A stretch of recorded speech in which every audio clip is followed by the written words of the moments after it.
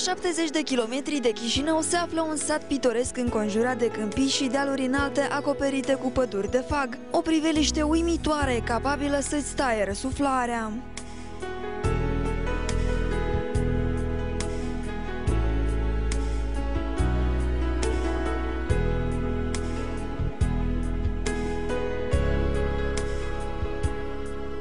Satul Temeleuț are o istorie aparte. Se spune că aici, pe timpuri, au locuit rasă de oameni uriași, iar o dovadă ar fi izvorul Bâcului. Legenda izvorului Bâc spune că pe locurile acestea trăiau niște oameni uriași și aveau o fică.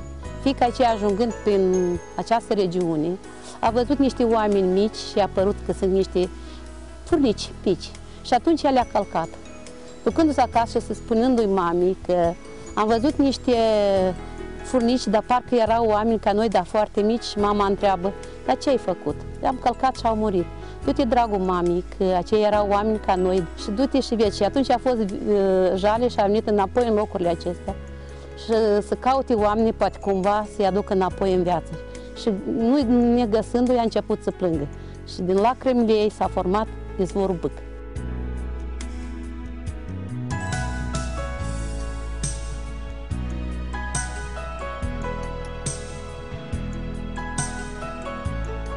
În inima bătrânului Codru, lângă izvorul cu apă cristalină, acesta este locul unde preferă să se odihnească sătenii ori de câte ori au posibilitatea. Izvorul este mândria sătenilor, dar și cartea de vizită a temeleuțului.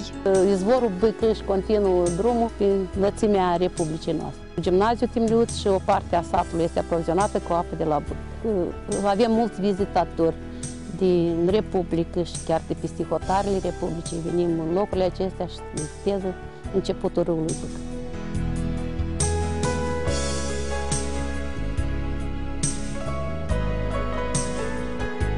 Prin pădurea din apropiere, sătenii nu se aventurează prea des, pentru că, spun ei, mulți au plecat la strâns de ciuperci și nu s-au mai întors.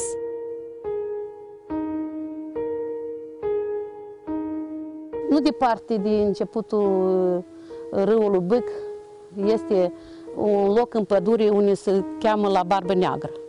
Deci așa au numit-o băștenașii, deoarece aceste, în acele locuri chiar și cei mai bătrâni oameni care cunosc pădurea foarte bine, e posibil că uneori să se rătăcească. Poate din acea cauză că acolo sunt mai multe încrucișări de drumuri sau ei spun că pe acolo bântuie nicuratul și să nu-i foarte pe drumuri.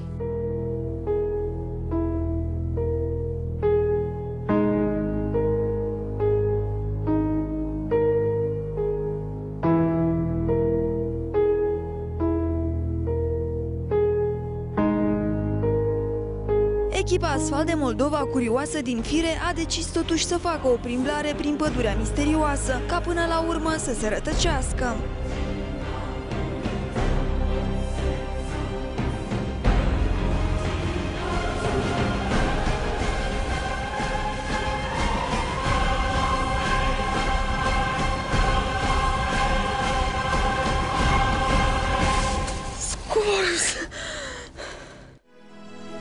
Într-un sfârșit am ieșit din pădure și ne-am pomenit în vârful dealului Budișoara, unul dintre cele mai înalte dealuri din țara noastră.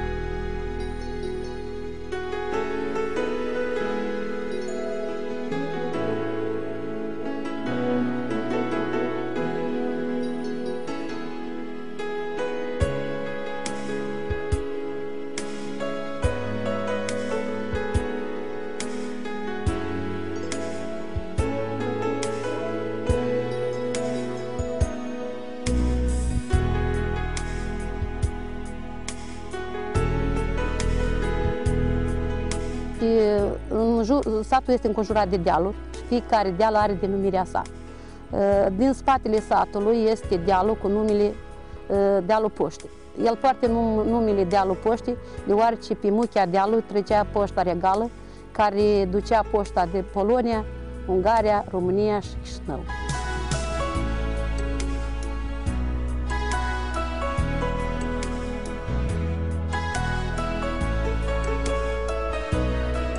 Și mai avem un deal care mai aproape de dealul Budulii, care se numește dealul Budișoara. Fiecare pădure din jurul satului are și ea denumirea sa. Pădurea uh, de la Suvaca, pădurea din Valea Frasănului, pădurea de la Bojoanca.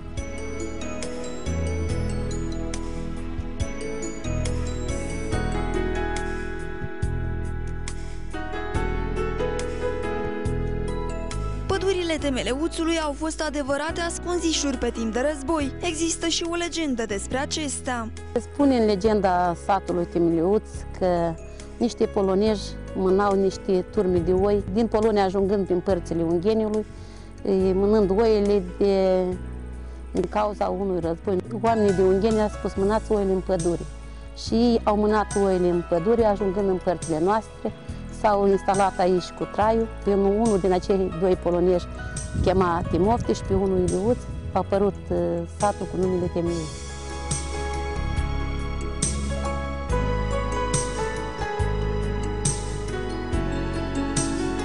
Sătenii sunt mândri de satul în care locuiesc, un loc ce pare a fi desprins dintr-o poveste, înzestrat cu priveliști ce se aseamănă cu un vis dintre cele mai frumoase.